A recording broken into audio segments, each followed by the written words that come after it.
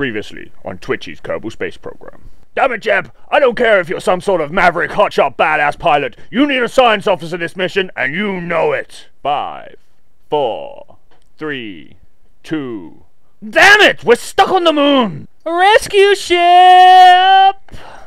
I, Richmal Kerman, will save you. I will fly planes to make money to upgrade the Research and Development Center. And now, the thrilling conclusion. Hey guys, and welcome back to Kerbal Space Program. What a bloody intro that was. I, I really enjoyed that. Uh, we join Richmal Kerman as he is flying over the polar ice caps because, well, we're out to earn some more money for doing the uh, visual surveys of the other side of Kerbin. Uh, hopefully, as the intro reminded you, we did the close surveys last time. Uh, that earned us a fair bit of money, but this time we need more money because we are about four fifths of the way, I think, into doing um, into getting the money. By four fifths, we need 500,000, and we've got 400,000. So this mission should do us. Now, I'm kind of lining up on the advanced navigation markers here. If you right click the markers on your map, you, you get a little, uh, do you want to have an advanced navigation marker on here? And I go, yes. And then I mark up my retrograde, my prograde, sorry, not retrograde, my prograde marker over the top of that. And then just kind of watch the ship for a bit because space planes, well, it's not even a space plane, but planes, they are long. They're as long atmospheric flight, and uh, it just kind of, you know, you need to pass the time. So what we are going to do is use the beauty of our editing software to jump forward to all the interesting bits. Like that was just us catching the first command report uh, because, well, you know, that, that's what we need to do in this area. And I'm going to take a moment to explain how I deal with it now that we're in amongst the cluster of all the uh, all the points. Uh, basically, I get my crew report. I then swing round to find the next navigation marker. You do have to set that on your map quick though. And then I go up at something like a 45 degree angle to give myself this beautiful ballistic arc that heads over towards towards the point that I'm heading for. When it gets there, I pretty much kill all my engines. I, I, don't actually, but I start following my retrograde to, to give the engines less oomph along the, the mark, if you will. And then when we enter again, hit another one. And once again, turn round hard to find my next marker. Get myself up to the highest atmosphere layer possible with the, the engines that we're using. Skim across the top in hopefully something approaching a ballistic arc. And then come back down on the other side to collect the, uh, the, the crew report. Now, the plan here was to have Richmal now fly on to the fourth point of this uh, survey mission and collect all the EVA data. Unfortunately, out over the ocean here, you'll notice that my liquid fuel has run dry. So we now have to make an emergency glide to land and stop because landing gear are much nicer things to try and land on than water is. And also, uh, the thing to pay attention to here is how how hilly that land is in front of us. Now, I was just quickly checking my map to see if we could actually fly all the way along the coastline, or at least glide all the way along the coastline. But looking at our rate of descent here, no, no, we can't. So I'm just going to kind of skim around everywhere, and then pop out my, my parachutes because I'd actually forgotten that I had those up until that last moment. But that, that's all good. With this last um, last little run round and make sure the ship is doing all right, try and like stand on the side and get this this this thing level again. No, it's no good. So what we're going to have to do is just recover the vessel as it is. Uh, even pushing it doesn't doesn't quite help. Unfortunately, all that does is uh, give Richmal a bit of a headache. And yeah, we're gonna we're gonna recover this and take it back, and then we're gonna have to send out another flight to come and get this EVA um, data. So, for reasons of brevity and ridiculousness, we have taken the spent ostrich and strapped two solid boosters onto the side of it.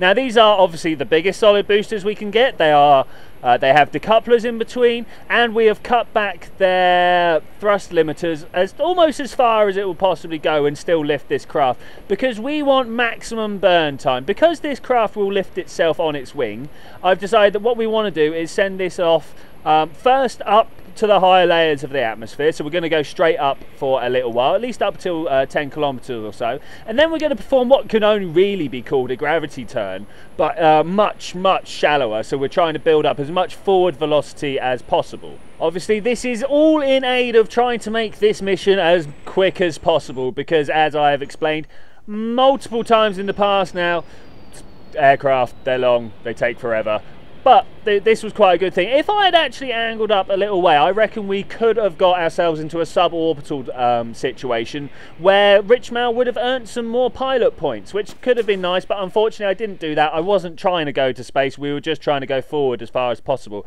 I don't know if we would have got more distance with a suborbital flight than going through the atmosphere because obviously the atmosphere provides drag and going through suborbital you keep all your speed at least whilst you're out of the top of the atmosphere but either way we make it to a maximum of 42 kilometers here and we come back down into the atmosphere to perform the same mission all over again of literally just flying over the top of the um, polar ice cap here, going to the other side, making a nice gentle touchdown landing, or at least that was the plan, before rolling around on my landing gear, trying to find the point where we're supposed to be to get this um, EVA report. It turns out was just over the hill, but yeah, uh, I had to spend a lot of time just kind of rolling around, moving left and right, trying to identify this last place and doing our EVA, EVA data. Survey complete, mission done, everyone recovered and got back. Um, one thing I would like to know, well, first, look at the money up top. That is exactly what we wanted. We got enough to upgrade that. Brilliant. And the other thing I wanted to know, I had some fuel left in that craft. Do you think it would have been better to fly back as far as I can and get the percent bonus or to trade in the fuel? Anyway, you, we find ourselves back up on the moon, and for some reason, the um, uh, Kerbal attachment system fuel line has not been attached or it's unlinked itself. I'm not sure what happened there, whether it's something to do with uh, like leaving the game and coming back, or maybe a reload somewhere had had un undone it. I don't, I don't know, but either way, we got Bill out. No, we got Bob out, and we um, connect reconnected all the the vessels together, and then uh, finally amazingly we are able to refuel our ship this is what everything in the past two two missions have been about uh, past two episodes have been about. Getting this fuel pump working again. So we get jeb out and we uh, disconnect. Obviously getting jeb out turn the sas off. I should have known that. Should have used bob. Um, but that's okay. We do a little bit of breakdancing on the floor and uh, you know no one break dances quite like a vessel on the moon break dances. It's it's really something to, to, to behold. Um, and eventually I remember that, hey, landing gear in and out are actually the way to do this here. So I, I retract my landing gear, point ourselves up, put the landing gear back up, fire off the SAS and try and find Kerbin because I know Kerbin is off to the uh, the east of the moon or the uh, our current landing spot on the moon should really be what I'm saying. Uh, unfortunately, it is over the lip of the crater, so I have to forget that plan and just go east. And then with the smallest pup upwards, we push ourselves up into uh, you know a, a small suborbital um, situation, and then forward thrust forwards with everything we've got as soon as we reach somewhere near Apoaps. I was trying to do like practice now, nice uh, high efficiency burns here, but once again, you know, I'm just showing my ineptitude by going past the Apoaps. That then gives us a situation where we're not chasing Apoaps, we're trying to get our Apoaps to chase us, and that that means you're bringing it down off of the, the, the height that it's at, and you know all sorts of things go hideously wrong when you go over Apoaps. So remember, guys, if you're going for a high efficiency burn, don't go past your Apoaps start it just beforehand. And then we just have the relatively simple task of performing a burn to get us back to Kerbin. Now, for those of you that don't know what that is, I will tell you right now. So what you need to do is make sure that your ejection angle is um, going completely retrograde to the orbit of the moon. By that I mean if you look at the circle the moon is making, it travels to the right on that circle, and I want to make sure I am leaving the line to the left so that when I'm so basically I'm trying to slow myself down from the moon's orbit because obviously the moon stays where it is because it's going at a certain speed. And if we slow ourselves down relative to Kerbin or relative to the moon and Kerbin we should fall fall back down because the only thing holding us up there is the speed.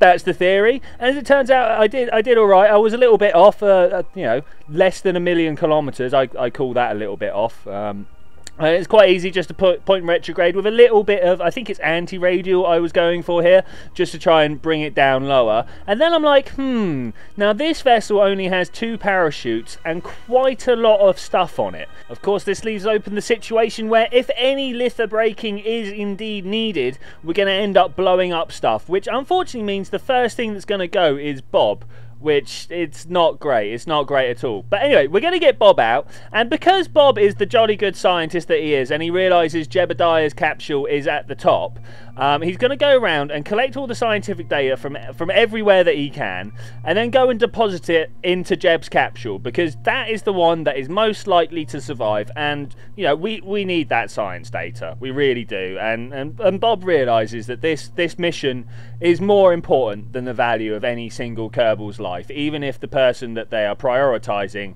is Jebediah. As, as horrible as that sounds, that, that really does sound horrible. Anyway, we do a small amount of time warping because, you know, it takes some time to get to the moon and back and, and flying around just in deep space. It's all right, but it's not something I want to try and talk to, talk to you about all over the, the thing. Now, I've got some um, atmospheric time acceleration, some physics warp time acceleration on the go, and when I tried to spin there, it nearly spun some bits off the side of my ship, so I had to remember to, to slow ourselves down and uh, get back into watching this re-entry scene, because, wow, fire and, and speed and just shedding everything everywhere. I kind of wish I was watching the map view here because I, I, quite like watching the aerobrake maneuver take its effect on Apple app. Apoaps, sorry to, to get the word right.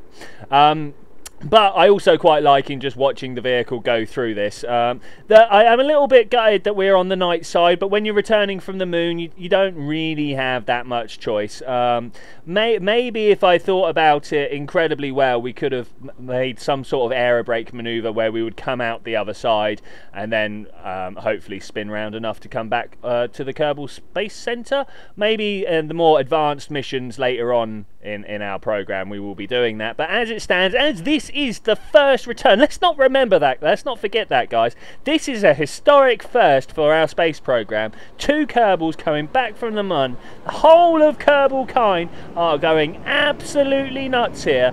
And it's time to pop up our, our parachutes, wait for these guys just to slowly drift down. Again, I would have waited a little bit longer to, to open the parachutes normally because I'm the person that I am but we've got lots of stuff to try and save here. And there we go. Perfect touchdown. What what more could we want? Uh, okay, so we're going to recover this, and yeah, let's let's have a round of applause for the guys here, guys. Guys, yay! All this science, like 170 science back, that's just unbelievable. Got all our data and so many points for our things. Leaving me to say, thank you very much for joining us for this adventure, guys. I will see you next time when we're going to spend all the science.